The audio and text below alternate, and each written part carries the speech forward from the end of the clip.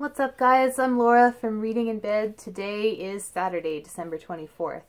Uh, it's Christmas Eve, so we're going to reveal the last two stories in the short story advent calendar. Um, I might even read them both today because tomorrow's going to be a busy day, as you might imagine. So this is likely the last video of this series, although I'm thinking I might do one more where I round up my favorite stories. Um, I have a feeling there will be a pretty solid top five of standouts, depending on how the last two go. It could be more.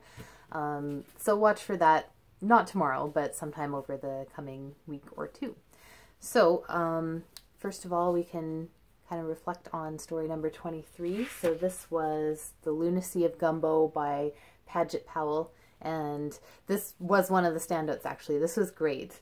Um, it seems like it might be uh, more, you know, nonfiction than a lot of the other stories. I, you know, I don't know.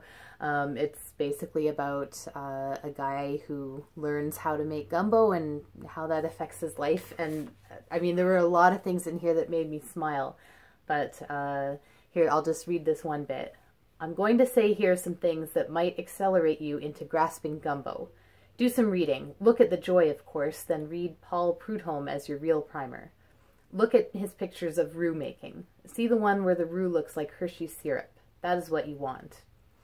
So what made me smile about that is that uh, he recommends that the first thing you do is read The Joy, and he calls it The Joy, because I'm the same. When I'm wanting to make something new, something I don't know much about, I always, always, always pull out The Joy of Cooking first, and I always call it The Joy. So um, yeah, this made me want to go uh, eat some gumbo. Absolutely. It was great.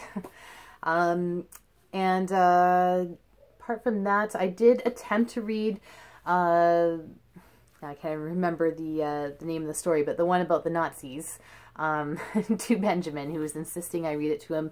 We only made it to about page eight, and he told me it was boring. So, and I was skipping some of the more boring parts. I thought it was a great story. I really enjoyed it. It's just, uh, you know, maybe not for seven-year-olds, which is fine. So, let's get into it. This is number 24.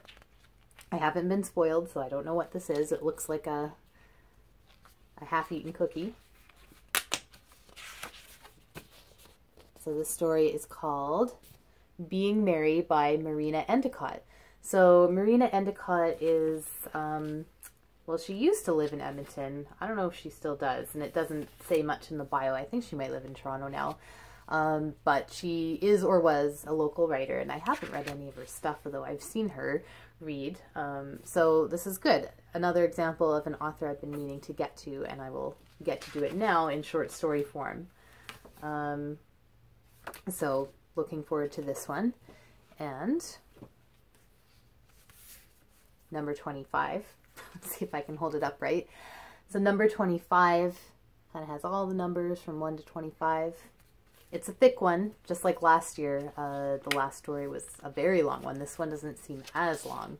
It's not like novella length. And this is The Adventure of the Blue Carbuncle by Arthur Conan Doyle. Now, I'm pretty sure that this one actually is in my Christmas Stories collection. Um, did I show that in one of the videos? I can't remember. And of course, I don't have it beside me right now. I think it's downstairs or something. But I think I have actually read this story before. So much like last year, this is a classic uh, Christmas story. Um, and it says here, The Adventure of the Blue Carbuncle was first published in Strand Magazine in 1892. So uh, whether I've read it or not doesn't really matter. Um, this will be another chance to uh, read it, and I'll try to save it for tomorrow, um, although I might just read it tonight. We'll see how that goes. So thanks so much for tuning in. Uh, this will be it um, for the near future. I think I will come back and round up my top five and kind of close things off sometime over the holidays. But uh, to all of you, I hope you guys are having a great Christmas, and I hope you're doing lots of reading and if you've been reading along, I'd love to hear what your favorites are. If you have a top five, um, please do let me know in the comments below, and we'll see you soon.